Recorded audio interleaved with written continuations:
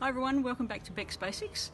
I uh, just wanted to talk to you today about how to recycle your plants and get your next crop quicker than planting new plants.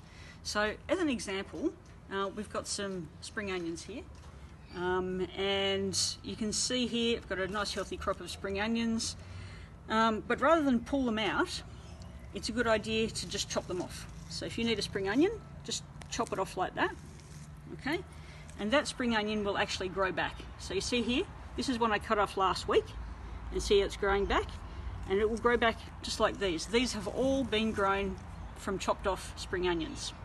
So rather than plant new ones, you can just chop off the ones you've got and they'll grow back and give you a new crop. If you've bought spring onions, then you can plant this. Chop off the bit, use the green bit here, and you can plant this back in the ground. So you just grab it, clean the roots off, or not clean the roots off, doesn't really matter. Put it back in the soil. Obviously I wouldn't plant it this close, but I'm just doing this as a demo.